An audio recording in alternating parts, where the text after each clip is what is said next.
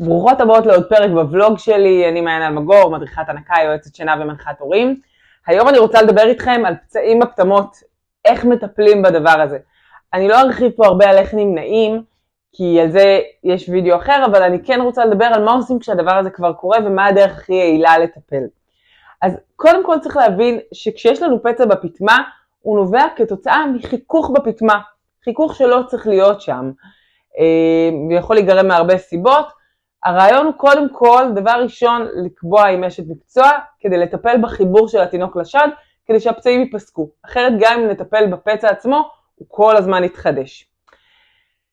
אחרי שטיפלנו בחיבור, אה, אנחנו בעצם צריכות לטפל בפצע ולגרום לו להירפא. איך עושים את זה? אז נתחיל רגע אולי במה לא לעשות.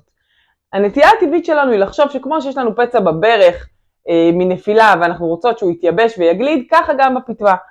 וזה בדיוק מה שאנחנו צריכות לא לעשות. למה? כי בעצם אם אני עכשיו יושבת ככה טופלס ונותנת לפצע בפטמה להתייבש, מה שיקרה זה שברגע שהתינוק שלי שוב יתחבר ויעשה ואקום הוא בעצם יתלוש לי את הגלד ואז הפצע ייפתח מחדש ובעצם יהיה נורא קשה להיפטר אה, מהפצע. ולכן ככלל הדרך הנכונה להיפטר מפצע בפטמה היא על ידי זה שנרפא אותו בתנאים של לחות, באופן דומה למה שעושים עם כוויות. ויש כמה דרכים לעשות את זה.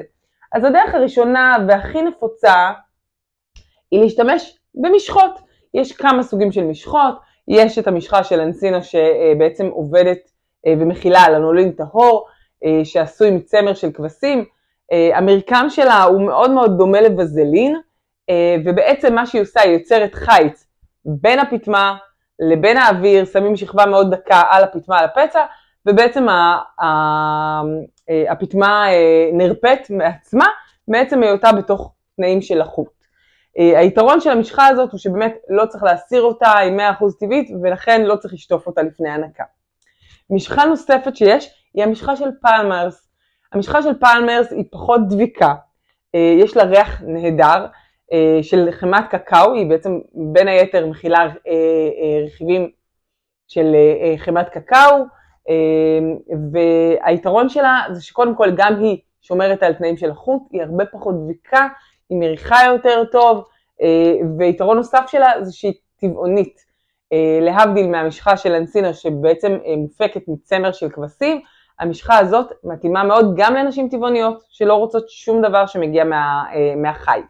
אז זה לגבי המשחה הזו, ובעצם מורחים אותם אחרי, את שתיהן אחרי הנקה. מוצר נוסף שיש, זה בעצם הרפידות של נרסיקר, של רפידות של חבישה שנקראת פולימם. זה בעצם מגיע באריזה, מגיעות 6 יחידות כאלה, זה חשוב להגיד שזה לא מוצר זול. מה שעושים בעצם עם הרפידה הזאת, שמים עליה כמה טיפות מים במרכז, ברגע שהיא באה, באה במגע עם נוזלים, היא צריכה להיות בעצם כל הזמן על השד בצורה הזאת, בתוך החזייה. ברגע שהיא באה במגע עם נוזל, היא גם מפרישה חומרים שמאיצים את הריפוי, גם מקלה על התחושה, ומאוד מאוד מאוד יעילה. החיסרון של נרסיקר זה פעם אחת המחיר שלה, ופעם שנייה העובדה שהיא מהמון זמן רטובה ונמצאת על הפצע, בשימוש שהוא ארוך טווח עלולות להיגרם פטריות בגלל הנוכחות של הנוזלים כל הזמן על אזור פצוע וכניסה של חיידקים בעצם לתוך השד. לכן לטיפול קצר מועד, יום, יומיים, שלושה, ארבעה, זו רפידה מצוינת ומאוד מאוד מומלצת. לא צריך להחליף אותה כל יום. מתי כן צריך להחליף? כשזה מתחיל להיראות כמו שאפשר לראות פה בתמונה, שמתחיל להיות מין כובע כזה והרפידה בעצם אה, כבר רבויה בנוזלים. ואז בעצם צריך להחליף אותה כי היא לא יעילה יותר. מוצר נוסף ומעולה זה המוצר הזה, זה בעצם מוצר שנקרא פטמות כסף, אוקיי? זה נראה ככה, בכל קופסה כזאת מגיעות זוג פטמות, יש גם אה, מין אה, אה, אה, סיליקון שיושב מסביב כדי לגרום לתחושה נעימה יותר על האור. בעצם מה שעושים עם פטמות הכסף, מניחים אותם על הפטמות בתוך החזייה, ויש להם כמה יתרונות. ראשית, הן יוצרות חיץ בעצם בין הפטמה לבין החזייה, כך שהגוף הגוף לא משתפשף, הפטמה לא משתפשפת בחולצה, בחזייה, וזה מאוד מאוד מאוד נעים. דבר שני, מלחכים קצת את הפטמה בחלב אם שיש לו סגולות רפואיות, ובעצם שמים את זה כאן, זה שומר על סביבה לחה.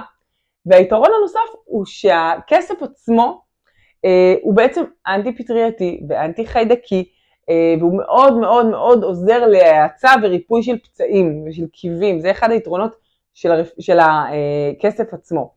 עכשיו, היתרון בפטמות כסף זה שהן לא חד פעמיות, הן לא לתקופה קצרה, אפשר להשתמש בהן כמה שצריך, זה בעצם לא נגמר ולא מתקלקל, ולכן זה מוצר מצוין. לכל המוצרים האלה אני אשים לכם גם לינקים וגם הנחות שיש לי עליהם.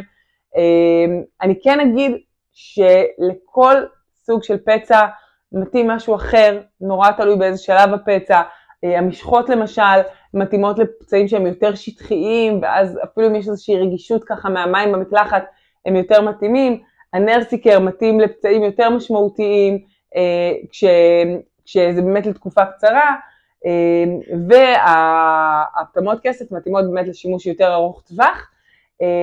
וחשוב להגיד שיש בהם, גם מצבים שבהם נצטרך ממש משחות אנטיביוטיות או דברים מהסוג הזה, לפעמים משחות גם עם סטרואידים, תלוי באמת מה המצב, ואז לפעמים כדאי לפנות לרופא. ובראש ובראשונה כמובן, כמובן, כמובן להיפגש עם אשת מקצוע, לטפל בחיבור עצמו לשד, לטפל בהנקה, אה, כדי, כדי שהפצע לא בעצם ימשיך להיגרם שוב ושוב כל הנקה. זהו, מקווה שעזרתי לכם, מוזמנים אה, לעקוב אחריי לטיפים נוספים, אה, וכמובן לפנות גם בפרטי. שיהיה בהצלחה ובריאות שלמה, תרגישו טוב.